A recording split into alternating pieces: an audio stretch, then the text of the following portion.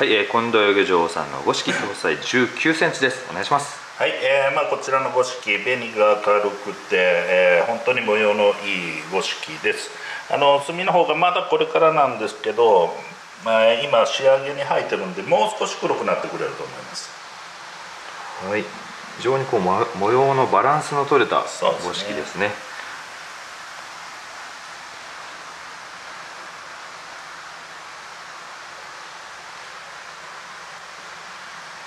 はいそれでは横の方もお願いします。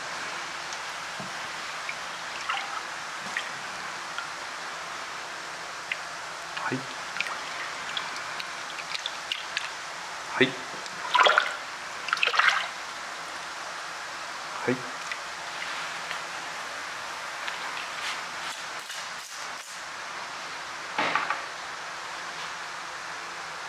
はい。非常に模様の整った五色です。ぜひよろしくお願いいたします。お願いします。